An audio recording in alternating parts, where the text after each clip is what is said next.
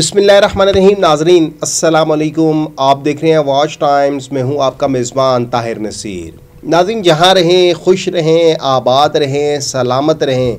हमारी दुआ है कि आप नसरबाज़ों, ठगबाज़ों, बहरूपियों, फ्राडियों और लुटेरों से भी बच कर आज नाजीन मैंने प्रोग्राम करना है अनाफे ग्रुप के ऊपर, स्मार्ट ग्रुप के ऊपर, और मैंने आज आपको बताना है मलक तोकीर अवान की थोड़ी सी असलियत जो अलसफ़ा ग्रुप के नाम से इस वक्त मार्केट में धूमें मचाए हुए हैं। लेकिन प्रोग्राम शुरू करने से पहले नाजीन मैं आपको ये कहूँगा कि कोशिश किया करें कि नस्ली और ख़ानदानी के साथ ताल्लुक़ रखें, क्योंकि जब नस्ली और ख़ानदानी शख्स आपसे नाराज़ होता है तो वो आपकी इज़्ज़त पर कभी वार नहीं करेगा। और जो बदनसला होगा या जिसका कोई ख़ानदान नहीं होगा तो वो आपकी इज़्ज़त के ऊपर भी वार करेगा और आपके किरदार के ऊपर भी वार वार करेगा। खैर दिगर और भी कई सी बातें हैं, लेकिन आज मैंने सोचा कि एक थोड़ा सा असल हकीकत भी आपको बता दें कि नस्ली और ख़ानदानी लोगों में और बदनस्लों में फ़र्क क्या होता है। आपको मालूम है कि जब एडम अमीन चौधरी ने कंपनी लॉन्च की तो मलक तोकीर आवान ने कहा, जी, कि आदम अमीन चौधरी से बड़ा फ़र्शनास, बड़ा ईमानदार कोई शख्स नहीं है। लेकिन फिर ऐसा आया कि अब एडम अमीन चौधरी के ख़िलाफ़ मलक तोकीर अवान बातें करता है और मलक तोकीर के ख़िलाफ़ एडम अमीन चौधरी बातें करता है। अब आपने ख़ुद ये नापना है, क्योंकि वो पंजाबी में एक कहावत है कि यार हो अपना, फिर क्या नापना? तो आपने ख़ुद ये अंदाज़ा लगाना है कि इनमें दोनों में नस्ली कौन सा है और बदनस्ला कौन सा है? क्योंकि दोनों एक दूसरे के ऊपर वार कर रहे हैं या दोनों का मफदात का टकराव है। मैंने आपको कहा था कि मलक तोकीर अवान एक मुकदमे में गिरफ़्तार हुआ और वो मुकदमा थाना शालीमार में था। मलक तोकीर अवान तीन दिन के जिस्मानी रिमांड पर भी रहा और उसके जो तफ्तीशी ऑफिसर थे, मैंने आपको ये भी कहा कि, बल्कि मैंने वीडियोज़ भी चलाई कि एक गिरफ़्तार मुलजिम को कितना प्रोटोकॉल दिया जाता रहा और उस मुकदमे के मुद्दई जो थे, वो काजी अबू बकर थे। अब काजी अबू बकर के ऊपर अगर मैं रोशनी डालूँ तो ये वो शख्स है कि जिसने आल पाकिस्तान प्रोजेक्ट्स के मालिक एडम अमीन चौधरी को गिरफ़्तार करवाया था। पहले पहल तो एड, जो मलक तोकीर आवान है, वो ये समझा कि एडम ने इतनी बड़ी गेम डाली है लेकिन बाद में हमें कुछ लोगों ने बताया कि काजी बुबकर किसके कहने पे उसने ये गेम डाली, लेकिन खैर वो एक अलहदा से चैप्टर है, वो एक मदई है, काजी बुबकर और मलक तोकीर अवान उसमें मुलजिम था, फिर ये मुकदमे से डिस्चार्ज हुआ, और जिस तरह होता है इन मुकदमात में कि गलत फहमी की बुनियाद पर मैंने नाम ले लिया था और फिर पैचअप हुआ, कितने पैसे लिए गए, ये आपको मलक तोकीर अवान बताएगा। लेकिन मलक तोकीर अवान ने जो अलसफ़ा ग्रुप के नाम से अब एक मार्केट में एक पत्ता फेंका है, कहता है, जी, मैं सोसाइटी लॉन्च कर रहा हूँ, दो साल के किसान एक साथ पे पचास फ़ीसद दें तो आपको वहाँ पे कब्ज़ा भी मिलेगा, घर भी आप तामीर कर सकते हैं। तो मैंने पहले भी सवाल रखा था कि मलक तोकीर अवान साहब आपकी सोसाइटी कहाँ पे है? ज़मीन की सात तहों के अंदर है या सातवें आसमान के ऊपर है? क्योंकि जिस लोकेशन का आप दावा कर रहे हैं, वहाँ पे तो इतनी लैंड ही नहीं है तो आपके पास वो लैंड कहाँ से आ गई? जिस तरह ब्लू वर्ल्ड हाउसिंग सोसाइटी का मेन जो एंट्रेंस है, जो दाखिली रास्ता है, वो किराए की ज़मीन पर है। इसी तरह आपने भी कहीं ऐसा तो नहीं किया? किसी शख्स से किराए पे ज़मीन ली हो और वहाँ पे अब अपना प्रोजेक्ट लॉन्च कर रहे हैं कि लोगों को लूटें। खैर, इस हवाले से मुल्क की रवान, अपना मौक़ देगा तो मैं उसको भी चलाऊँगा। फिर मैंने नस्ली और ख़ानदानी शख्स की बात की। आपको मालूम है कि अलनाफ़े ग्रुप के तीन सपूत हैं। एक डॉक्टर इरफान, एक कैसर नवाज़, एक मलक वसीम और एक चौथा शख्स इनके साथ मिला हुआ है उमर। ये वो लोग हैं कि जो माजी में मुख्तलिफ़ कंपनीज़ में रहे।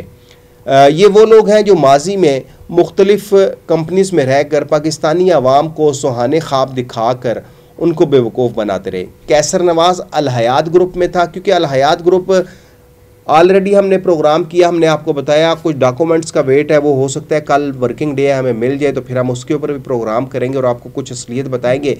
कैसर नवाज़ ने अलहयात वालों ने उसको गाड़ी दी तो जब इसको बड़ी गाड़ी मिली अलनाफे ग्रुप का जो ऑफ़िस है वो आपको मालूम है कि फ़ेज़ एट में ही है D H A gate two के साथ है। एक बहुत बड़ा टाइटैनिक नुमा वो टावर है जिसमें इनका बनाया गया है ऑफ़िस या माल में ऑफ़िस है, इनकी मैंने वेबसाइट अलनाफे ग्रुप की जब स्टडी की तो उसमें इन्होंने बड़े बड़े प्रोजेक्ट बताए आवाम को, लेकिन कोई भी उनकी वेबसाइट के ऊपर आप जाएँ तो वहाँ पे इनके किसी भी आइकन पे आप क्लिक करेंगे तो कोई पेज ओपन नहीं होगा, एक सवाए होम के पेज का।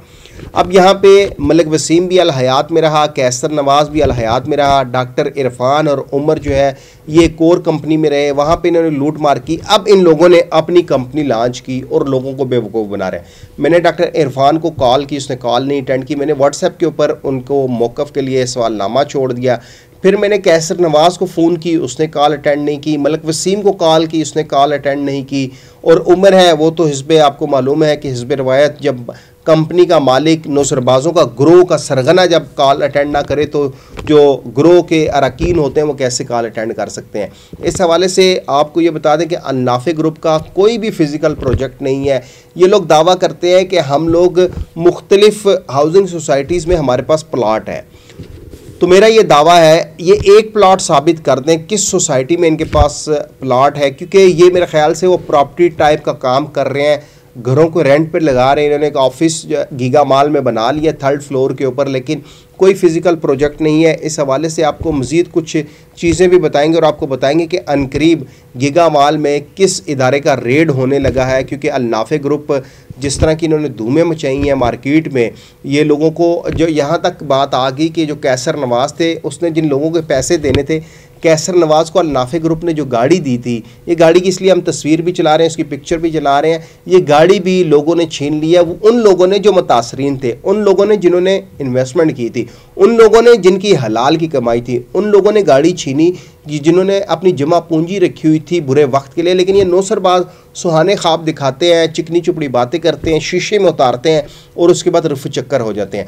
अन्नाफे ग्रुप वाले अगर अपना मौक़ देंगे तो हम उसको भी चलाएँगे। फिर स्मार्ट ग्रुप के जो नवीद अख्तर हैं, मलिक नवीद हैं, इमरान कियानी है, इमरान खोखर है, आमिर बशीर है, इस हवाले से F I A cyber crime cell ने इंक्वायरी शुरू कर दी है और एक से दो रोज़ में इनको पहला तलबी का नोटिस जाएगा। क्योंकि साइबर क्राइम सेल का एक रूल है कि वो किसी के ख़िलाफ़ जब इंक्वायरी इनिशिएट करते हैं तो पहले उसको नोटिस भेजे जाते हैं। तीन नोटिस पे अगर वो शख्स अपीयर नहीं होता, वो कोई रिलायबल रिप्लाई नहीं दे सकता तो फिर उसके अलावा मुकदमे का इंदराज होता है। इन लोगों ने रवाज हाउसिंग सोसाइटी में अपना ऑफ़िस बनाया हुआ है। इनका जो फ्रंट मैन है, इमरान कैनी, उसके साथ जो नौसरबाज जुड़े हुए हैं, आमिर बशीर हो गया, मलिक नवीद हो गया, क्योंकि मलिक नवीद का देखें माजी किसी से ढका छुपा नहीं है। आमिर बशीर का माजी किसी से ढका छुपा नहीं है। आमिर बशीर अपने आप को डॉक्टर कहता है। अब मुझे नहीं पता कि ये जानवरों का डॉक्टर है या ये गाड़ियों का डॉक्टर है, लेकिन खुदा रहा इनके हवाले से मैं आपको ये बात बता दूँ कि स्मार्ट ग्रुप के ऑफ़िस में इंशाल्लाह बहुत जल्द रेड होने लगे हैं। एफ़ आई ए ने जो इंक्वायरी शुरू की है, इसके साथ साथ security exchange commission of Pakistan की जानब से भी आइंदा एक से दो रोज़ में एक इंतबा जारी किया जाएगा और पाकिस्तानी आवाम को आगाह कर दिया जाएगा कि अलनाफे ग्रुप हो गया या स्मार्ट ग्रुप हो गया, इसमें इन्वेस्टमेंट मत करें, इसमें सरमाकारी मत करें, क्योंकि इनके पास सिर्फ़ रजिस्ट्रेशन है। एस e में कोई भी शख्स अगर रजिस्टर्ड होना चाहता है तो वो उनकी वेबसाइट बनी है। वहाँ से भी आप हो सकते हैं, किसी लॉयर के ज़रिए भी हो। आठ से दस हज़ार रुपये आपका लगना है और आपको रजिस्ट्रेशन फॉर्म यानी कि आपकी फॉर्म रजिस्टर्ड हो गई है, वो आपको एक नोटिफिकेशन दे देंगे, एक सर्टिफिकेट दे देंगे। लेकिन उसका ये मतलब नहीं होता कि आप पाकिस्तानी आवाम से सरमाकारी उठाएँ। अलनाफे ग्रुप और स्मार्ट ग्रुप के हवाले से इंशाल्लाह आइंदा एक से दो रोज़ में बड़ी खबर आएगी। और जिस तरह मैं पहले कह चुका हूँ कि नवीद अख्तर इतने पढ़े लिखे शख्स होकर वो अब इन बहुत जल्द उनकी हथकड़ी लगी तस्वीर आपके सामने हम पेश करेंगे और आपको बताएँगे कि ये वो नौसरबाज हैं जो पाकिस्तानी अवाम को सुहाने ख्वाब दिखाकर लूटते हैं। तो खुदा रहा ऐसी जो कंपनीज़ आती हैं, इनमें इन्वेस्टमेंट मत करें। इनका कोई फ़िज़िकल प्रोजेक्ट नहीं होता। मनी रोटेशन होती है। आपका पैसा आपको ही वापस करते हैं और उसके बाद ये देखते देखते दिन दुगनी, रात चुगनी ये नुसरबाजी करते हैं और इस मुल्क से फ़रार हो जाते हैं। अगले प्रोग्राम तक के लिए अपने मेज़बान ताहिर नसीर को इजाज़त दीजिए। अल्लाह हाफिज़।